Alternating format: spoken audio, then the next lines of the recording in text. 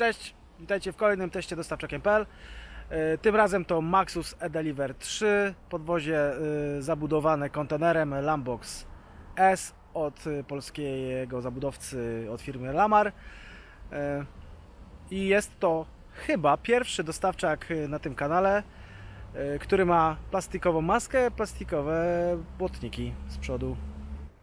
Tak się prezentuje lewa strona pojazdu. Warto zwrócić uwagę tutaj na tą e, alkowę. Jak jechałem w deszczu siódemką, miałem po drodze e, trzy burze w zasadzie ściany deszczu, to z tego dzióbka jakby ktoś wiadra wylewał na przednią szybę. Wycieraczki ledwo co dawał radę, więc taki mały minus, no ale pytanie brzmi ile razy w roku jeździcie w takich warunkach. Tak wygląda samochód z prawej strony. Mamy tutaj drzwi e, prawe, żeby sobie wejść do zabudowy. Bardzo ważne w dystrybucji lokalnej, czy w, zwłaszcza w kurierce, niski próg wejścia do zabudowy. Tutaj jest ten stopień 31 cm e, od podłoża, więc wchodzi się bardzo zgrabnie, sympatycznie. Kubatura ładowni tutaj jest y, 10,2 m3. W ramach ciekawostek jeszcze Wam powiem jedną rzecz, że to też chyba jest pierwszy samochód, który testuję, gdzie maska w zasadzie... O, proszę. Maska jest tu. Biorę ją ze sobą.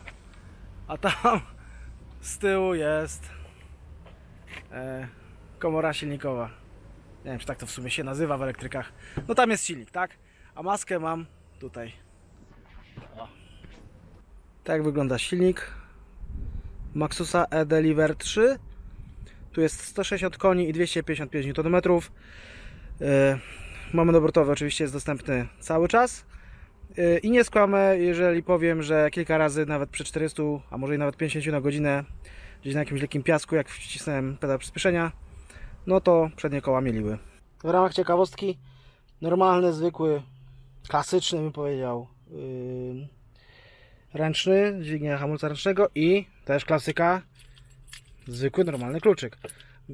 W takim kurierskim zastosowaniu czy dystrybucji jednak fajniejsze by było, żeby mieć e, zamiast takiego kluczyka e, bez e, kluczykowy układ, czyli kluczyk w kieszeni wsiadamy, odpalamy i tak dalej, no ale cóż, nie może mieć wszystkiego. Fotele wygodne, może nie mają jakiegoś super trzymania bocznego, ale nie ma co narzekać. Jak jeździ taki Maxus? Y, Zależy gdzie. No, y, to nie jest samochód dedykowany do jazdy na y, dalsze trasy poza miastem. Wręcz to jest samochód, który sprawdza się tak naprawdę tylko w okolicy miasta, najlepiej w samym środku miasta. Jest w miarę zwrotny, nawet z tą zabudową, która jest trochę szersza i wyższa niż, niż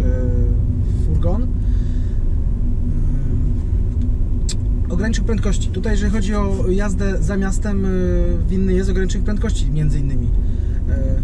Y, O ile furgony mają ograniczenie prędkości do 120 na godzinę, mówię o furgonach y, Maxus E-Deliver 3, to podwozie pod zabudowę, nie wiadomo dlaczego, ma ograniczenie prędkości 90 km na godzinę, więc albo jadę przed ciężarówką i nie mogę jej wyprzedzić, bo też jedzie 90 albo okolice, albo jedzie mi na zderzaku taka ciężarówka i kierowca y, tej ciężarówki tylko czeka, gdzieś będzie z górki, żeby mnie gdzieś wyprzedzić, tak? Y, Więc no to jest mało komfortowe, a druga sprawa jest taka, że mm, też ta bateria 52 przecie- przepraszam, 50,2 kWh no jest za mała, żeby gdzieś się wybierać tym autem dalej, bo wtedy przynajmniej tak jak jechałem z Warszawy, y, jak odebrałem auto, y, co prawda padał deszcz na S7 trzy razy mi tak zapało, że nie wyrabiały wycieraczki, no to taki zasięg bez jakiegoś większego ryzy- ryzyka to jest 150 km na pełnej baterii.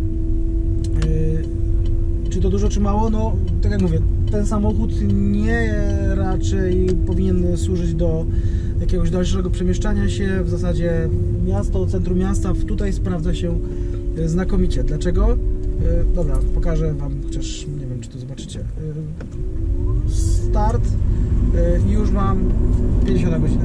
Przyspiesza bardzo dobrze i to nieważne, czy jedziemy 20 na godzinę i przyspieszamy, tak, wciskamy pedał przyspieszenia, czy jedziemy yy, 50 na godzinę i po prostu on ma sporo tego momentu obrotowego. Może inaczej, ten moment obrotowy jest cały czas, bo to jest silnik elektryczny 255 Nm, 160 koni, więc on sobie radzi. Jest naprawdę taki, bym powiedział, poręczny ten samochód do miasta.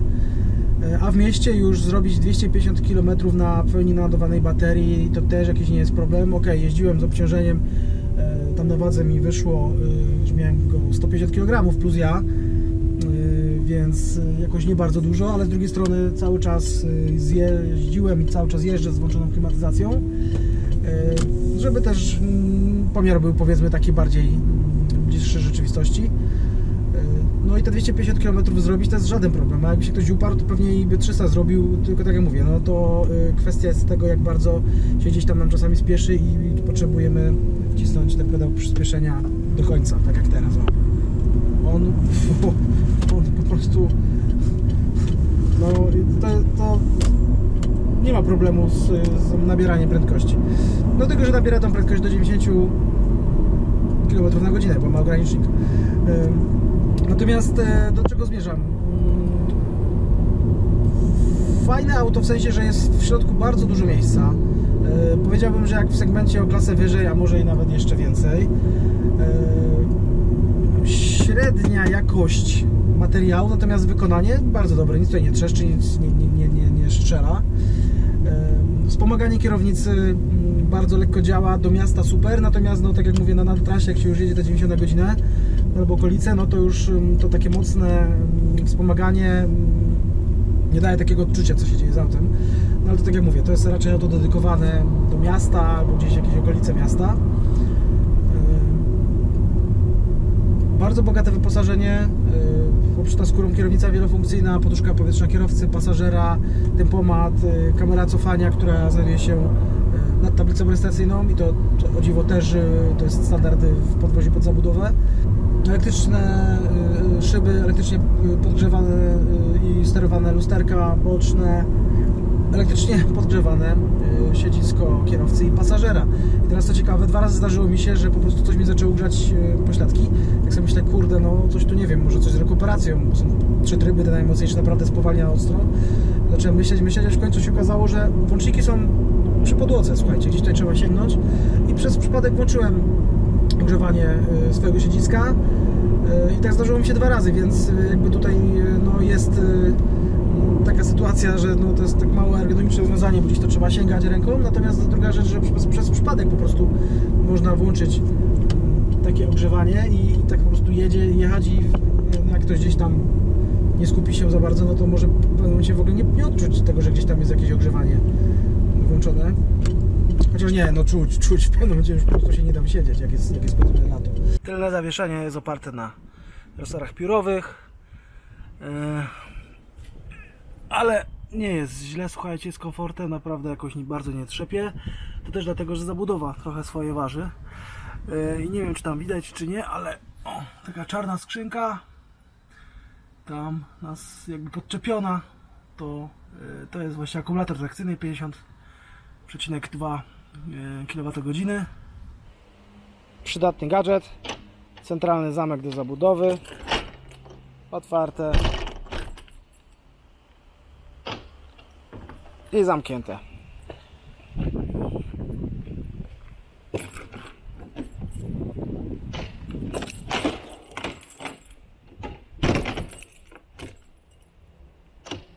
Do kurierki bardzo fajnie. Aha, i jeszcze właśnie z minusów.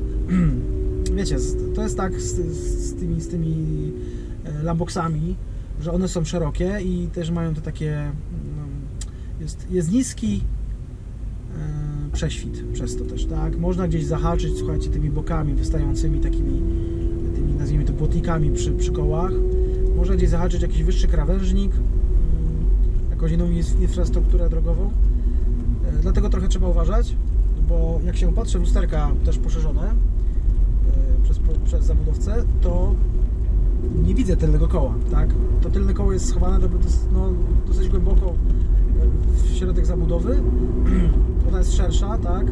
Powoduje, że jakby cały pojazd jest szerszy przez to. E,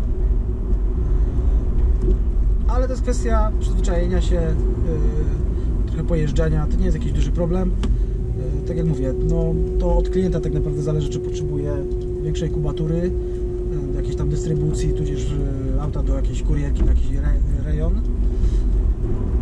Jaka jest moja ocena tego auta? To jest jedno z tych tańszych aut elektrycznych dostawczych na polskim rynku. Z tego co widziałem, to gdzieś e, w cenniku Maxusa jest cena 100 chyba 17 tysięcy netto okolice za auta z 2023 roku. Chodzi o podwozie oczywiście do zabudowy. No i plus cena samej zabudowy, tak? No ale to nie musi być kontener, to może być na przykład też e, zwykła e, otwarta skrzynia. E, więc czy to jest dobra cena, czy nie? No pytanie brzmi. Ile samochód będzie robił rocznie kilometrów? No bo tutaj to, to, ta cena jest dofinansowaniem już mój elektryk. Te 117 tysięcy netto. E, Natomiast tam jest też takie, tak, tak, takie zastrzeżenie, że mm, trzeba takim autem, któ- które jest objęte dofinansowaniem, y, przejechać rocznie minimum 20 tysięcy kilometrów. Y, Więc też trzeba mieć to na uwadze, tak? Y, A, z minusów we przepraszam, zapomniałem. Nie ma zamykanego schowka. W sensie jest, są otwarte tutaj takie, nazwijmy to, kuwety, tutaj jest y, oczywiście kieszenie, tutaj gdzieś jest jakaś taka półeczka, y, natomiast nie ma zamykanego schowka, no jak zwykle przydałby się gdzieś jakiś zamykany schowek na kluczyk, to już by było w ogóle super, no ale nie ma w ogóle takiego, wiecie, takiego, że gdzieś coś y, zamyka, jakąś szufladkę. y, ale tak, kurczę, no tutaj nic nie skrzypi. Kierownica fajnie leży w dłoniach. Y, Czytelny zestaw wskaźników. Może to nie jest jakiś cyfrowy kokpit, ale z drugiej strony są też ludzie, którzy sobie chwalą te takie analogowe rozwiązania, jak to jest y, wyświetlacz taki zwykły, normalny, analogowy wyświetlacz skalowany do 160. Nie wiem czemu. Y, Mój tak więcej niż 90 nie pojedzie. Nawet z górki, nawet wielu rzeczy próbowałem, żeby ten samochód pojechał szybciej. Nie, pojedzie 90 na godzinę. Yy, Licznikowo 92 pokazuje i też, też, yy, też tempomat, który jest standardowy też pokazuje 92, można ustawić 92, nie więcej. Yy, No i, no i tyle. No dobra. yy, Czy Was przekonałem do tego samochodu, czy nie? W sumie nie wiem, czy to był mój zamiar, żeby Was czegokolwiek przekonywać. Bardziej chodziło o to, żeby Wam zaprezentować ten samochód, bo to jest yy, jednak yy, ciągle jakaś, nazwijmy to, nowość, tak? Zwłaszcza z taką zabudową, to już na pewno. Yy, Takich samochodów będzie przebywać, czy nam się chce, czy nie, to, to chińscy producenci wchodzą na europejskie rynki i oferują naprawdę niezłe produkty, według mnie. Przynajmniej takie mam doświadczenia. Yy, Oczywiście pytanie brzmi jak z, z siecią serwisową, bo w, przy autach użytkowych to jest dosyć istotna kwestia, żeby mieć blisko serwis, blisko warsztat, blisko e, nie wiem, człowieka od części zamiennych, który, który powie jak długo trzeba na coś czekać, czy nie i tak dalej. Yy, Co, no, tyle. Chyba, chyba się, mam nadzieję, wygadałem, jeżeli chodzi o... O, przepraszam, no, za szybko przyspiesza i muszę się melcik czasami spojrzeć. Wygadałem. Yy, Jeżeli byście mieli jakieś pytania, oczywiście, to piszcie w komentarzach. Jak, jak będę się starał na te komentarze odpowiadać. Yy, Jeżeli oczywiście będę wiedział, jak nie będę wiedział, to też może się postaram zapytać importera, bo też mi się tak niejednokrotnie zdarzyło w życiu, że no alfa miłowego nie jestem i chyba nigdy nie będę, więc jak czegoś nie wiem, to gdzieś próbuję to się tego czegoś dowiedzieć dla Was. Dzięki wielkie i mm, do zobaczenia.